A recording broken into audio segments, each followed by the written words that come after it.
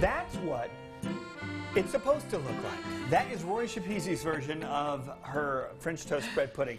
Mine, I over, I, I kind of made, I made It doesn't look so bad now. I mean, it, it really doesn't if you don't look at it next to, the other one.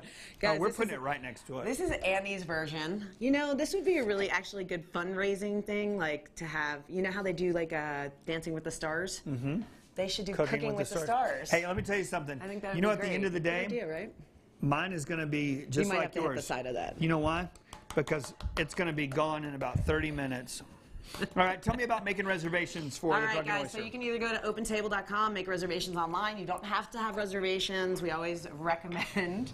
Uh, but once again, we are open seven days a week. For lunch, we have a great lunch menu, guys. It ranges from nine to fifteen dollars, so it's not super expensive like everybody thinks it is. no, Uh, it's, it's reasonable. It is. You can come in and spend 20 bucks, or you can come in and spend 120 bucks. But come see us at the Drunken Oyster, guys. All right, we're going to dive in. We'll be back after this.